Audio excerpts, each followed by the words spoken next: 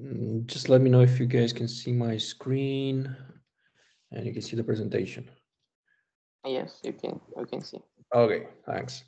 So today we're going to continue our discussion about uh, what we started uh, last lectures with wireless sensor networks and infrastructure, and we defined the physical layer for uh, our uh, devices, and we talked about briefly about antennas, propagation, uh, different standards for uh, physical communication between uh, devices.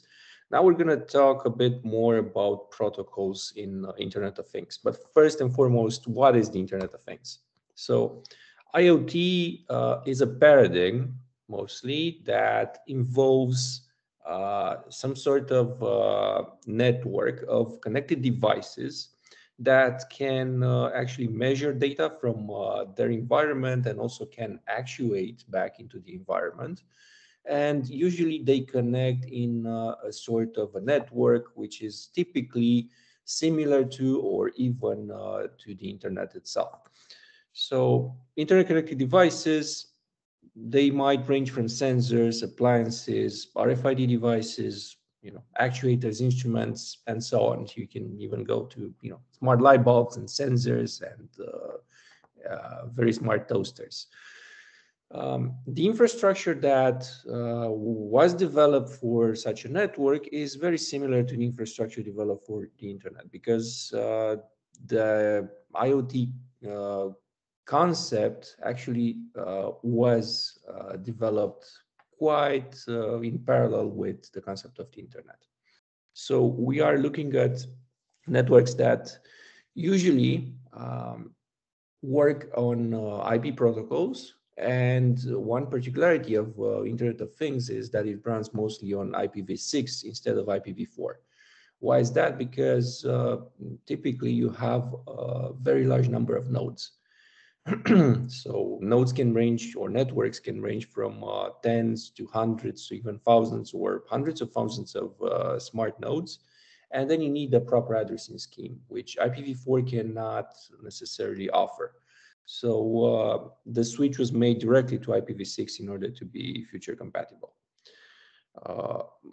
At the base of each network lie uh, these sensor nodes or motes as we defined them in our previous lectures, which typically are devices which are low cost. So uh, they typically use a processor which is uh, very cheap, 8, 16 or 32-bit architecture, mostly ARM architecture, but you can find also variations.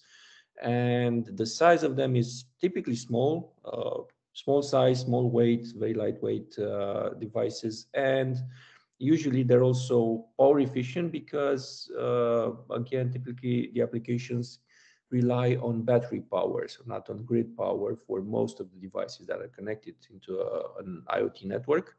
So you would need to run from uh, a couple of batteries uh, for a very, very long time. So usually months or even years between uh, uh refreshing the batteries each node is uh, addressable within the networks. Uh, it behaves very similarly to what a computer node uh, is in a standard computer network. So you can reach uh, a node, you can ping a node from uh, anywhere within the network and you can address uh, it. So it usually has a unique identifier or a unique address that you can uh, theoretically access from uh, anywhere within the network, or if the network is connected to the internet, theoretically you can access it from anywhere from the internet. And again, being a system which is uh, deeply embedded into the real world, then you need some constraints which are typically around real-time usage. So uh, such a network is more responsive uh, and typically more uh, in tune to its environment than a standard computer network. So you have this series of protocols and operating systems which are in, in essence real-time and they give you a real-time guarantee of uh, your actions within the network. now, in terms of what an IoT network typically needs, or what are the demands for an IoT network, uh, there are, of course, uh, many particularities. But if uh, I have to draw a line and make some uh, uh, assessments of what are the things that are typically needed by all of them, uh, I think there are five topics which are of particular interest.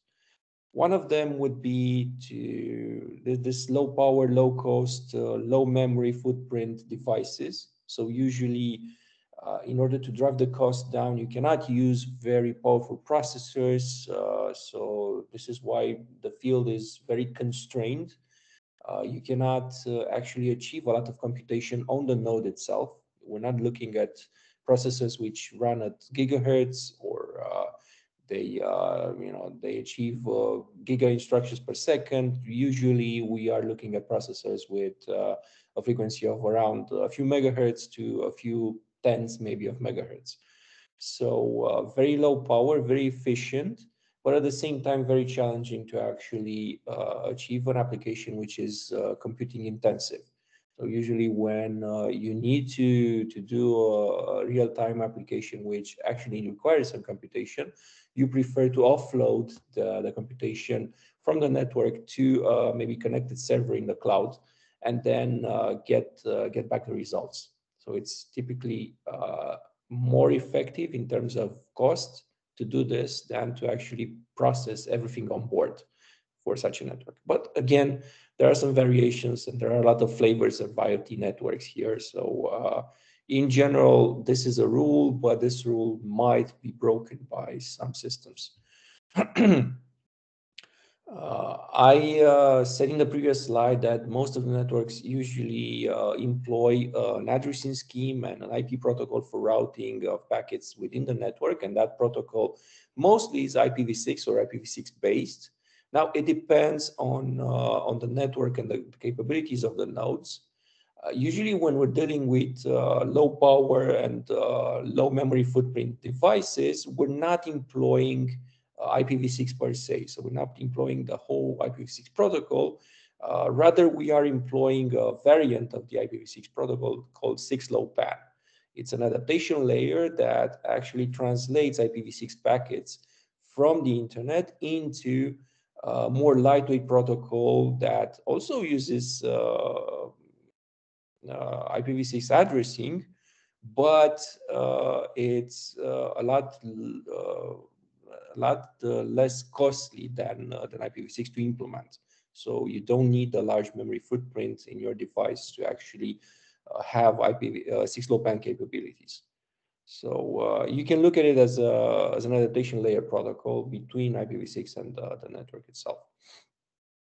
Uh, there's also a need for routing within these networks. So usually, uh, topologically speaking, the networks can be uh, can adopt a star topology where you have a central node which is always on, and then uh, some some nodes which are disposed in the topology radially to in regards to it. So you have a single hop between each node and the, the gateway, uh, which is a very simple topology and has a lot of benefits, uh, namely that you only have to have one node which is permanently on, and that's the, the central node, the gateway. Uh, and then the, let's say the leaf nodes, which are one hop away, they can be very low power as they can go to sleep whenever they wish. So you don't have a have to have a synchronization mechanism to actually keep the nodes uh, up at the same time or uh, duty cycle them synchronously. Um, when you have a mesh topology, so you have uh, a sink node and then you have multiple paths uh, to different leaves in the uh, in the network, so you have multi-hop networks, uh, then you need to complicate a bit the, the topology and also complicate a bit uh, the routing protocols that can actually make sure that you have efficient communication within the network. So this this implies uh, you know higher level of uh, redundancy within the network. You need to have multiple paths of uh, information transmission because nodes can fail, and then you can uh, actually disable entire parts of the network if uh, communication is routed through a node that uh, has actually failed. So through redundant paths and through routing protocols, you actually can achieve a stable network or a high degree of quality within your network. But at the same time, uh, bear in mind that these devices have very limited uh, communication capabilities as well due to the constraints of cost and of uh, energy consumption. So usually we're talking about lossy networks. Uh, the radio communication uh, environment usually is very crowded because we're talking about hundreds or maybe uh, thousands of, of receivers working at the same time within a network, and they can they can actually incur a lot of noise within the and perturbations within the network. But at the same time, we are talking about very low cost radio transceivers. So there's uh, very little room for uh, error detection and correction and there's also very limited bandwidth capabilities for each node. Um, when we're talking about these networks um, and developing them, we are talking about uh, usually new protocols, uh, which need to be lightweight. Due to the constraints of, of the devices themselves, we cannot run uh, version, uh, you cannot actually run the protocols that are used in the typical computer network. Most of the protocols have uh, requirements which uh, outmatch what uh, we can do and what you know the hardware capabilities of the devices themselves. So new and lightweight application protocols have been developed. Some of them are similar to HTTP and others are, uh, are a bit different and we're gonna go through each of them in the next slides. And you'll see the differences uh, from, uh, let's say, the more established protocols in a computer network. Uh, and then we're talking about header compression. IPv6 usually does not fit within uh, uh, uh typical packet for the most used standard in IoT networks. The most used standard is 802.15.4 and uh, the 802.15.4 MAC does not uh, is not compatible with IPv6 at all. So this is why we need this adaptation layer for 6LoWPAN. Now, where do we find IoT networks? Well, I'm just going to go through a few of the um, applications of IoT networks. Uh, first is this concept of smart city, uh, which has grown exponentially with uh, the past uh, 10 or 15 years. So we are looking at um, deployment of uh, IoT networks within uh, a city or within you know a smaller town, which can actually incur a lot of data gathering from different utilities, environment, um, street lighting, um, public safety, um, energy measurement, traffic management, and so on. So you can you get to measure a lot of uh, parameters from the environment of, uh, of a city. Uh, and these can uh, these parameters can be measured by different systems uh, which are implemented by different companies but they're all together they aggregate to form this this idea of a smart city and then you have uh, then you have uh, different organizations such as um, the, the city management or the planning authorities, which can actually benefit from gathering this data. So they can improve health, for example, or education or traffic within the, uh, within the city or public safety and so on. So this concept is does not only relate to a single network implemented, for example, in a building. It relates to um, hundreds, maybe thousands of networks which are interconnected and they interoperate at the level of a city to actually get this uh, uh, fully connected experience. And also social networking plays a part in this, uh, the smart city. So not only you measure the, the envir environmental parameters, but also you measure the social parameters of a city through uh, such an IoT network. Uh, another application which is quite interesting and uh, has grown a lot in the past years is environmental monitoring. Uh, so you can employ IoT networks to monitor, constantly monitor parameters in the environment. So you can have, for example, uh, a device installed in your home or in each room of your house to actually measure parameters such as temperature, humidity, uh, leaky pipes, uh, noise, uh, gas and smoke, and particulate matter, for example, which is very typical to measure right now within Bucharest. And to actually have this experience of um, alerting the user of a situation where a parameter can can uh, be uh, outside of a measured range or you have a dashboard and the reporting structure of uh, history of how these parameters have varied uh, uh, over time. And this, of course, brings another level of information uh, over the over the typical system. And you can also tie this one to uh, different actuators and different uh, other services which can uh, can actually improve your uh, uh, your environment. In energy distribution, again, IoT plays a key role because you have um, not only energy distribution but also energy production and this has started to become more and more prevalent uh, within uh, within energy grids.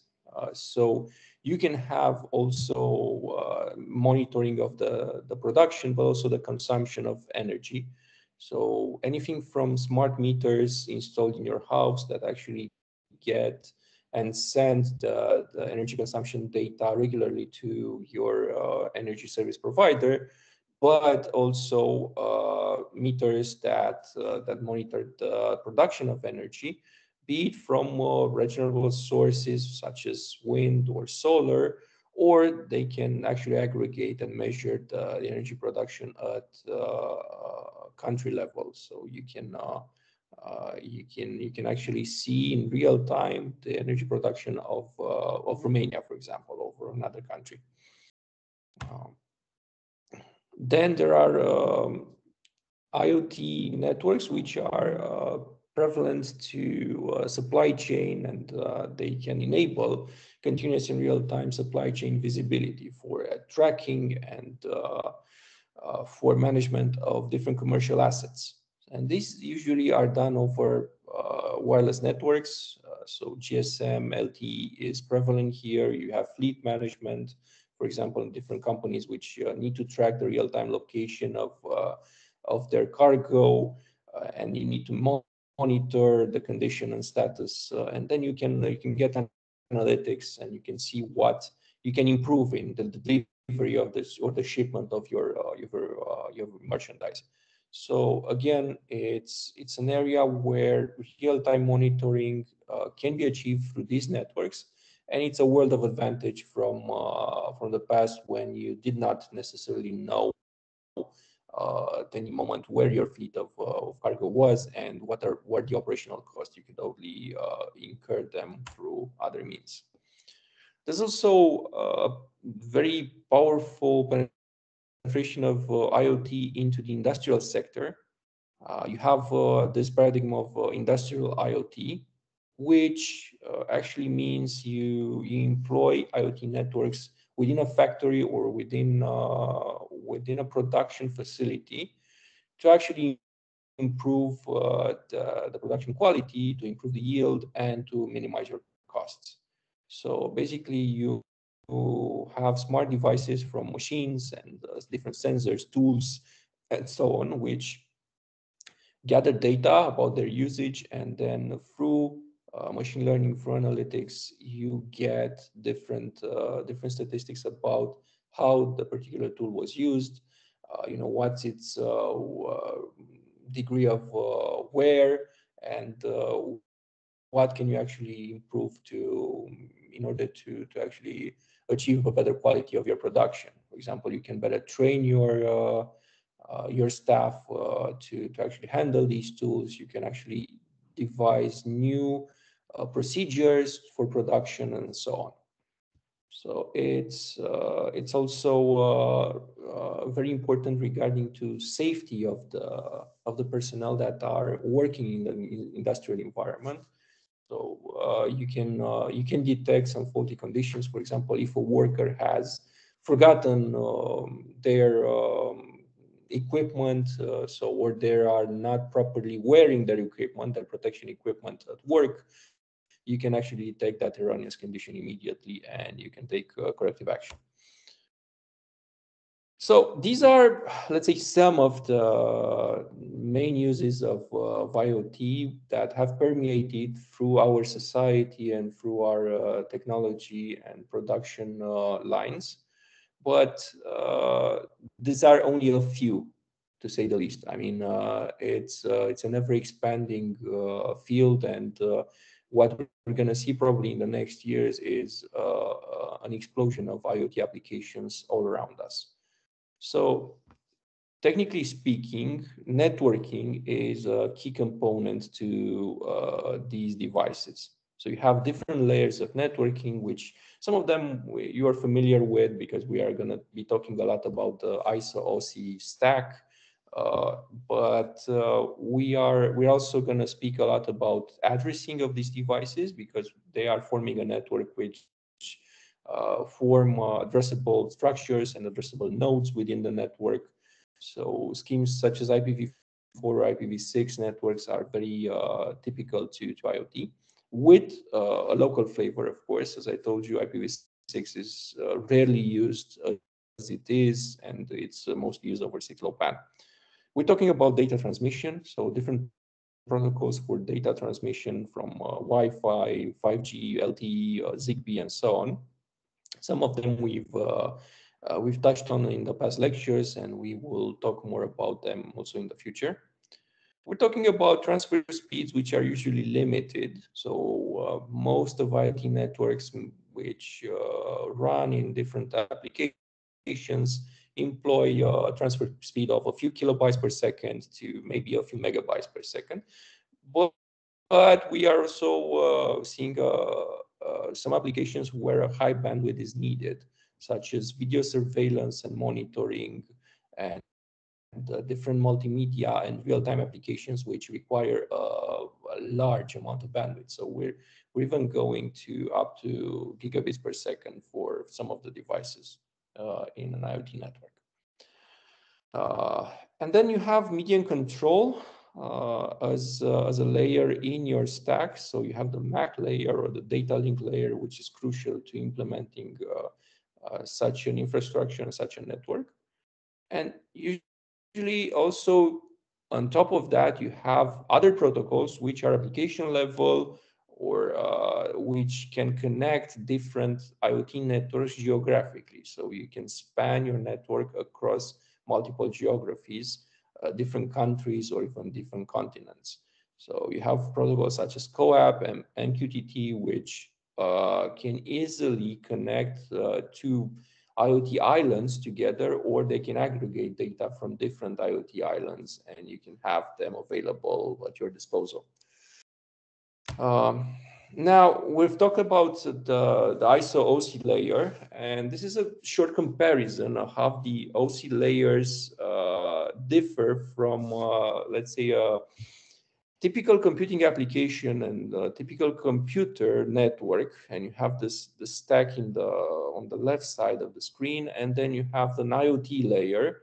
Uh, like I told you, it's an adaptation of different protocols and they are suited typically for an IoT network. So you have this uh, uh, this correspondence. You have different uh, different protocols and different, of course, layers. From the physical layer, have the you know 802.3 and 802.11 physical layer for most computer networks. Uh, for IoT applications, the 802.15.4 uh, standard is prevalent. So you're going to see a lot of 802.15.4 networks, but also in the in the last uh, years, 802.11, so the, the, the standard which Wi-Fi is based on, has permeated more and more into the IoT domain. Why? Because uh, in the past, Wi-Fi was uh, very uh, energy intensive, so you needed uh, a lot of bandwidth, uh, but you also uh, depleted your batteries really fast if you're using Wi-Fi. Uh, nowadays, there's been a you know great development in very energy or low power um, transceivers. which can actually use 802.11 on a regular basis and they don't draw such a uh, huge amount of power from uh, from your battery. So they're not going to deplete your battery anytime soon. Of course when you're using a relatively low bandwidth uh, of uh, communication when uh, you increase the bandwidth then uh, you're, you're going to drain the battery fast as well. So uh, at the MAC level, you you get again 802.3 and 802.11, uh, and here you have the 802.15.4 MAC for IoT applications. Now on the IP layer, you have IPv4 and IPv6 protocols for computer networks. Here you have the 6LoWPAN adaptation layer, which actually is uh, is used in the wide range of uh, of networks. And then moving on, uh, you see you have different protocols here for, uh, for routing. Uh, RPL is uh, very typical of, uh, of IoT networks. Uh, you use this for, for routing protocol over lossy networks. and it's, it's employed by a lot of IoT solutions. whereas, you know, if in um, typical computer networks use TCP as a transport protocol or UDP. Here, you would much rather prefer it to be stateless. So uh, UDP is preferred over TCP in IoT networks. You don't see a lot of TCP implementations in, in IoT networks. Uh, you would need to keep it, uh, you know, keep the communication as simple as possible, uh, a few handshakes and uh, just um, receive and transmit information in a in a device in a network. So UDP mm, is uh, is better suited to such communication because it's stateless. Uh, and then on the top of the application layer, you have HTTP, FTP, and so on, which uh, have formed the backbone of, uh, of the internet as we know it. Here you have CoAP and MQTT and other application layer protocols which are uh, employed on a large scale in IoT networks. And we're gonna spend a few minutes to talk about the most prevalent uh, protocols which are used in, in IoT networks. Um, so that's gonna be the, the discussion for the next slides.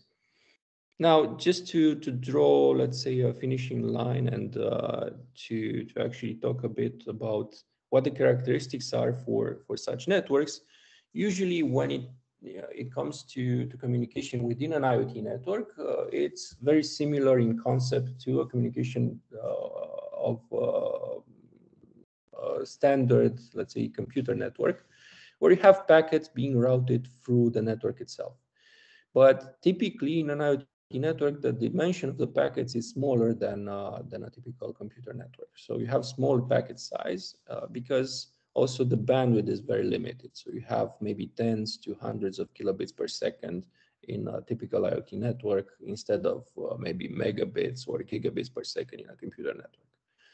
Uh, the topology can vary. Um, most of the, the, IoT networks have star topology where you have a central node and then you have uh, nodes distributed radially uh, within the network, so a single hop network because it's very simple to implement. So you don't need to have advanced routing protocols through the network. And uh, usually when the nodes are uh, very low cost, uh, you don't need to to employ uh, you know a lot of software to actually keep them awake for long periods of time to route the, the information through the network.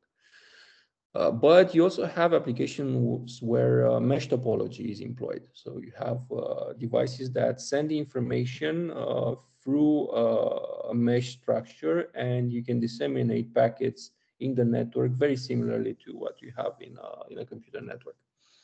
Low power battery operated is, is a given to these networks. And this is usually driven by a very low cost. Uh, we're talking about maybe tens, hundreds, or thousands of uh, such nodes. So uh, uh, a low cost of a device is uh, is a big incentive to actually develop these networks. Uh, you're not going to have you know the costs are going to skyrocket if you have a device which costs $100 or the $1,000 device, you cannot deploy it in uh, in a very efficient, cost-efficient manner if you have a network of thousands of such devices. So you need a, the device cost to be around maybe dollars or tens of dollars. Um, it's usually in terms of how they organize, they organize ad hoc. So the device has some limited accessibility. You cannot have full uh, accessibility schemes to your device. And it's usually done over an unreliable wireless medium of communication where packets can be lost and you have a lot of interference and you have a lot of noise affecting your communication channel. So when is a device suitable for IoT? When can you say that uh, this device is better suited to an IoT network and this device is not? Where you need to have an adaptation layer or the device needs to run some sort of adaptation layer or have at least the capability to do so. Uh, and this is usually around 6LoWPAN. So that, that adaptation protocol, which translates IP headers into uh, headers that can be packets that can be routed through an 802.15.4 network. Because there's no method yet to run IP over uh, such a such a network. Uh, why? It's really easy because the MTU for IPv6 is larger than the packet size for 802.15.4 networks. So you cannot directly run it, but you can actually adapt IPv6 to run over it through 6LoWPAN. So uh, again, security for uh, these networks need to be needs to be taken into consideration. We haven't touched security yet, but as you can imagine, if the costs are low and the capabilities, the computing capabilities of the devices are very low, then you you cannot typically run uh, the security measures and protocols that run on a on a computer network.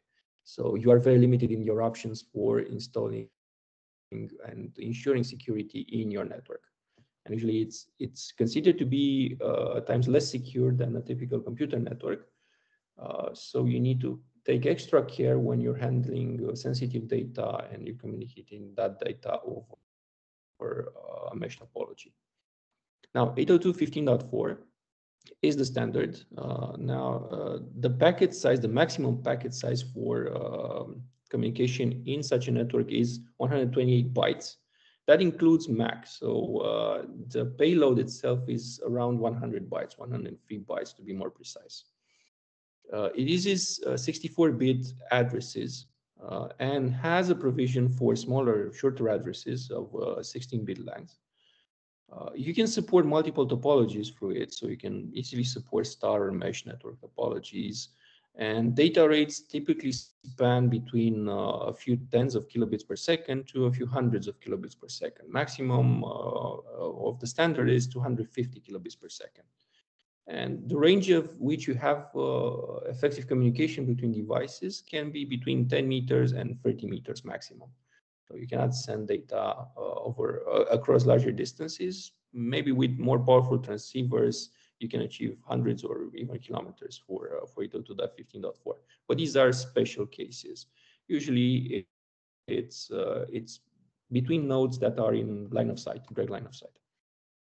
Uh, why do you use IPv6 for this? And why is IPv6 so um, so, so attractive to, to IoT networks? Well, IPv6 is more suitable to a high density of nodes within your network. Uh, you need, and typically IoT applications, they employ tens or hundreds of, of these nodes. Um, again, when you have low power and low computing capabilities, as simple as possible is uh, usually regarded as a plus. So uh, stateless usually is mandated in, in such networks. Um, again, mm, because you have a, a 64-bit address scheme, then no NAT is necessary.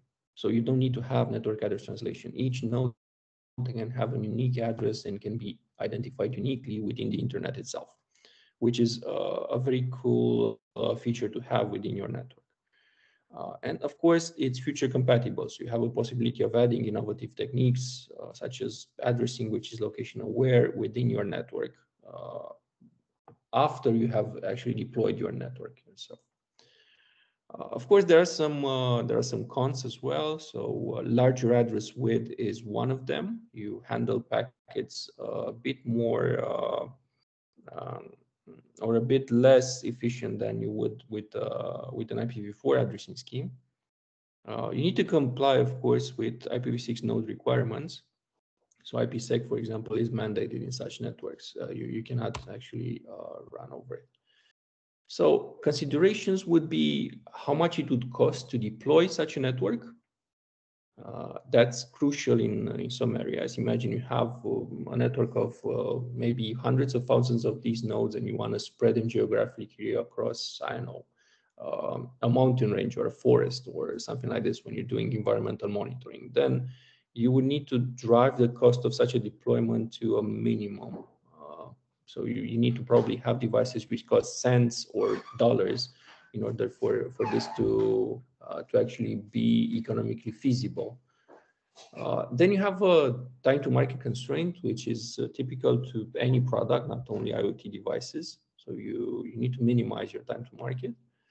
Uh, there's also a high degree of complexity when you're deploying such a network. Uh, and the complexity is given not by the device itself, but by the fact that they need to establish between themselves a communication network which is effective.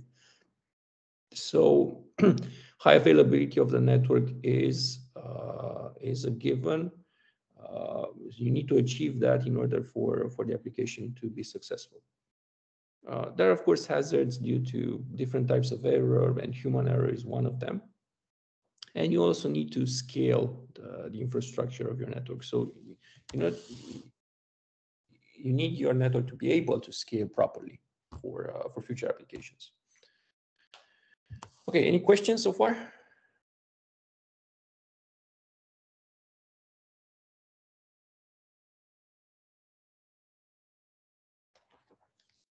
Okay, then moving on, uh, we're going to talk a bit about communication protocols within IoT.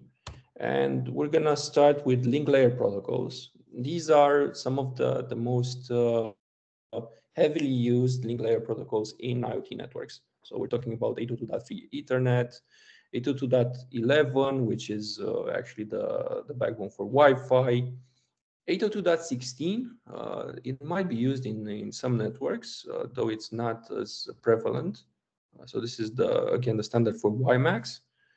Uh, but most of them usually are employed over 802.15.4. So this is uh, low data rate wireless personal area network or LTE, some sort of LTE communication when you have nodes which are spread geographically across wide distances. So you don't have meters between your devices, you might have kilometers or even tens of kilometers between your devices, then it's much easier to use uh, mobile communication. Again, the communication cost here is a factor and the cost can be uh, financial and also it can be in energy. So you need a lot more energy to actually keep alive a node that has uh, you know these LTE communication capabilities. Network layer protocols. Uh, typically, you find uh, some networks which uh, use actually IPv4, but uh, as you well know, the the pool of public IP addresses for 32 bits has been exhausted in 2011. So internet is slowly switching to IPv6 uh, with its 128-bit addresses. And then you have the 6LoWPAN, which is, uh, let's say, compression, a compression mechanism for IPv6 over 802.15.4. So you can you can take packets in uh, in IPv6 and you can route them uh, efficiently in an 802.15.4 network. Uh, transport layer protocols, uh, you have TCP and you have UDP. There's no um, no surprise here. Um, TCP is not as preferred as UDP in uh, in an IoT network because UDP is stateless, as I told you. So there's no no need for uh, you know uh, complicated handshake between uh, uh, devices when they're communicating. Uh, it's a lot simpler to implement than TCP, and usually it's IoT friendly because of that. Now, application layer is where uh, a lot of the protocols that differ from, uh, from the typical computer network have been implemented. And these are, uh, I just want to go through uh, a few of them, maybe in order of, uh, of preference and in order of uh, prevalence within the, the networks it's themselves. So just going to start with HTTP. You know, HTTP is the hypertext transport uh, protocol that uh, we all uh, know and love. And it's used in the internet per se, but it's also found a home in different IoT networks. So you have um, uh, different levels of implementation for this protocol within your IoT network. Usually you don't need to, to implement all the commands in, in HTTP, maybe a subset of them. So maybe you only have get and put uh, commands in, uh, in a node. You don't need more capabilities than this. You only need to get data and to post data.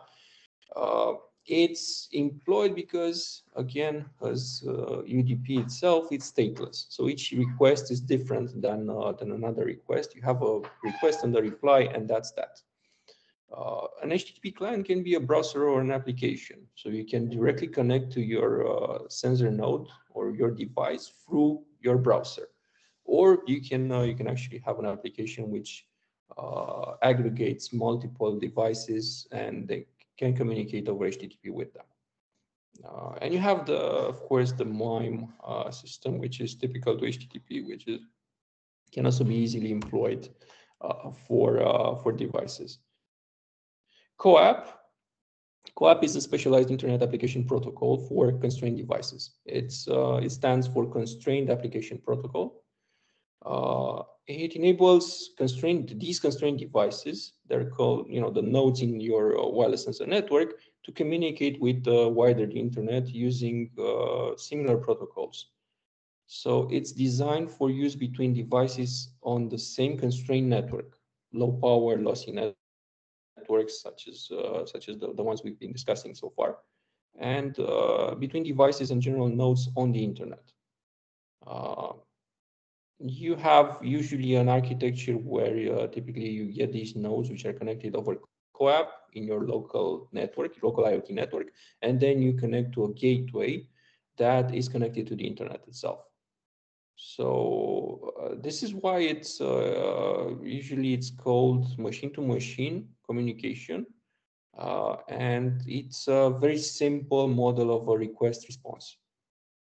Uh, similar to what you have in, in HTTP, you can have this protocol and you can also have even uh, even plugins uh, that uh, you can connect to your network through your local browser. For example, like uh, like a plugin for Firefox or for Chrome.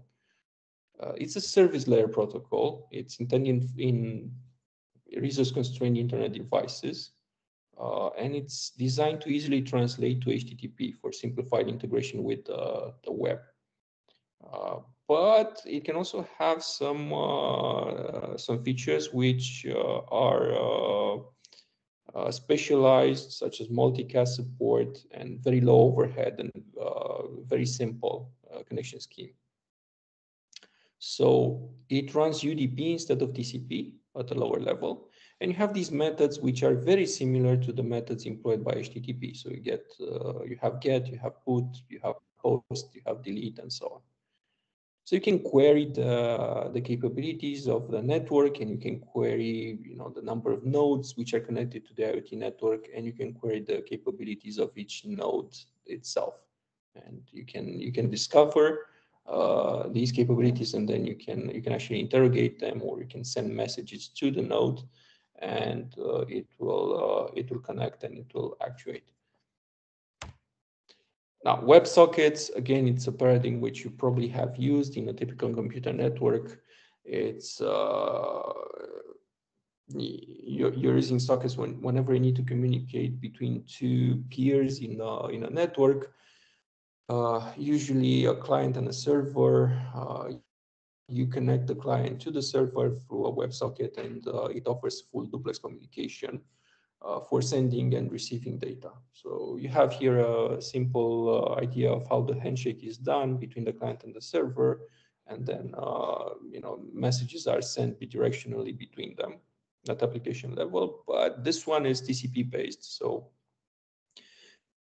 it's not as used as HTTP uh, and CoAP within uh, wireless sensor networks. Uh, but you can you can actually see it when uh, you have nodes which have higher computing capabilities than uh, than usual. So the client can be a browser or a device or a mobile application and so on. You can you can actually use this easily uh, within those situations. MQTT uh, stands for Message Queue Telemetry Transport, and it's a different protocol. Uh, this one is uh, also lightweight. It stands over a publish subscribe network uh, architecture. Uh, so you have this paradigm of uh, nodes that can publish information to a central server, and then you, you have also devices that can connect to that server and subscribe to the feeds of, of the nodes. Uh, usually it runs over TCP IP, but uh, it's also an implementation which can be run over lossy networks uh, such as uh, such as uh, IoT networks. It's designed for connections with remote locations where a resource constraint exists or the network bandwidth is very limited. So uh, it's it's an open protocol. It was historically developed by uh, IBM uh, uh, in I think 99, uh, and it was originally used to monitor um, industrial uh, applications such as SCADA and pipeline, oil pipeline and industrial control applications it's very energy efficient. It's very lightweight. Uh, it uses very little battery power in order to, to communicate. And this is why uh, MQTT and CoAP are the, I think, the two most prevalent application layer protocols in IoT networks today. MQTT is, uh, is deployed over a wide, very wide range of, uh, of applications in IoT. Uh, most of them are automotive, so Internet of Vehicles is another paradigm here that uh, that is very uh, much uh, catching right now. Uh, and uh, we're gonna probably talk a lot more about CoAP and MQTT in our next lectures. So we have this structure here of a, of a server, a central server or broker, which aggregates data from uh, different nodes that actually can publish data to it. So you have, for example, a temperature sensor which publishes data to this broker, to this MQTT broker, uh, with the topic name temperature, and then you have the payload of, uh, of the message itself, which is can be regularly updated. And then you have different uh, devices which subscribe to the, this topic, this particular topic on the MQTT broker. And you get the, the measured data from the temperature sensor. So it's, it's one to many. Uh, in this regard. It's a publish subscribe uh, type of uh, type of interaction between the devices themselves. Of course, you can have multiple devices which can publish uh, different topics on the MQTT broker. And again, a device can subscribe to multiple feeds in the MQTT broker. So it's very flexible regarding this. You can you can have a lot of complexity added to uh, to this MQTT network with a very small overhead. Uh, eh, the next one is uh, XMPP, which stands for Extensible Messaging and Presence Protocol. Uh, it was originally named Jabber, uh, if you probably heard about this. Uh, it's an open communications protocol, but it's designed for instant messaging, presence information, contact list maintenance, and so on. Uh, it's used in IoT, but usually used in IoT applications which are more computing intensive. So uh, it's interesting because it offers real-time communication between uh, devices and it streams XML data between different network elements, such as clients and servers. So it's a client-server topology, as you, you, you can see in the in this uh, uh, picture here, and it's suitable for voice and video chat messaging. Uh, and it's widely used in gaming and multi-party chat applications. It's designed to be extensible. The protocol offers a multitude of applications beyond traditional instant messaging and uh, voice and video chat application. Uh, it's, uh, let's say, the broader realm of message-oriented middleware, uh, including signaling for voice over IP, video, file transfer gaming, and other uh, different applications. Uh, XMPP is defined as an open standard uh, in the application layer. So you can uh, you can employ it in different uh, types of uh, applications.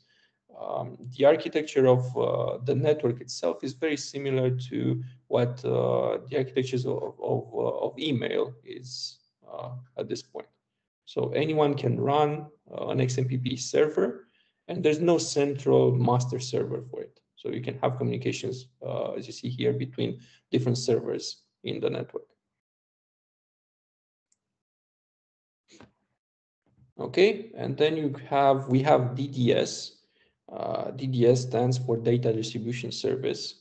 It's uh, mm, for, it's oriented for uh, real-time systems, such as object management group, machine-to-machine -machine, uh, communication.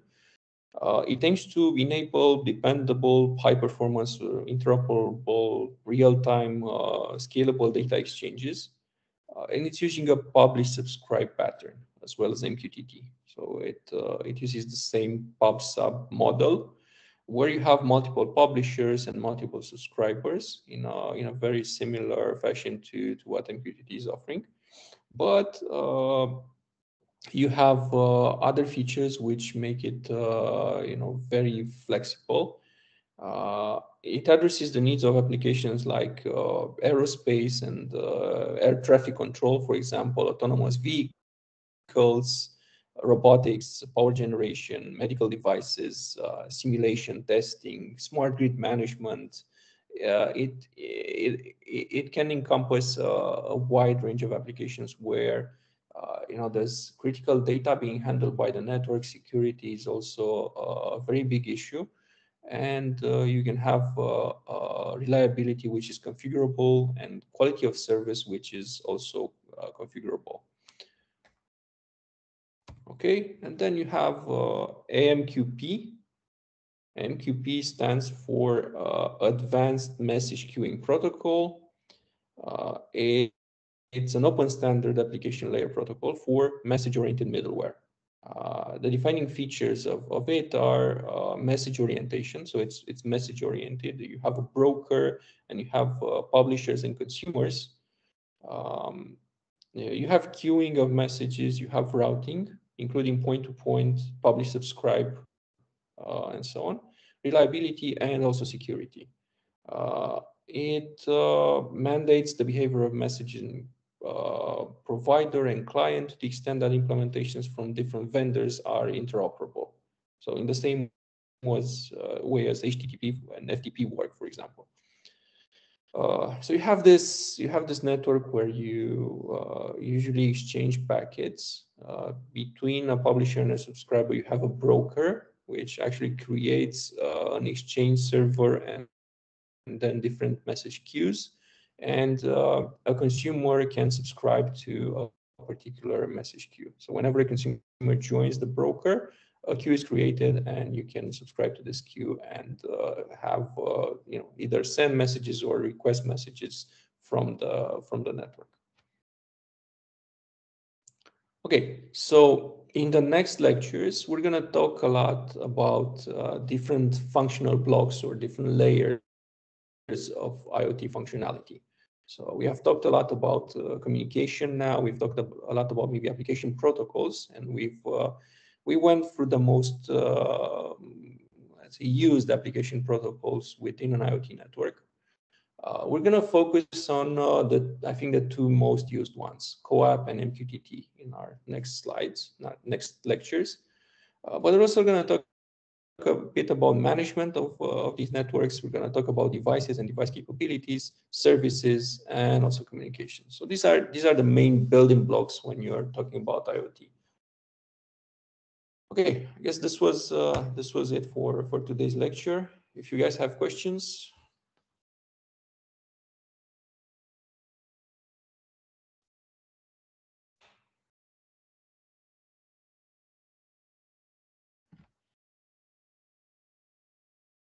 Okay, now thank you very much.